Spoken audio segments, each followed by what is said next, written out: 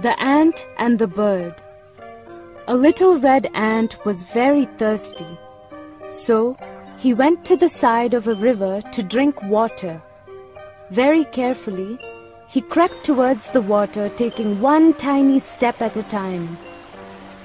As he got close to the water, he tipped his head forward to drink. His legs slipped, and poor little ant fell into the water. Now, the ant did not know how to swim, so he began to drown. He splashed about with all his six legs as hard as he could, but that was not enough to keep his head out of water. So he kept bobbing in and out like a tiny red ball, and each time he bobbed out, he would scream, Help! A little bird who lived in a tree near the river peeped out of her nest to see who was crying for help.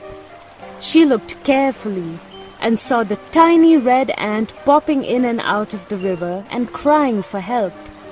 The bird flew out of her nest, picked up a dry leaf with her beak, and hopped to the side of the river and threw it in.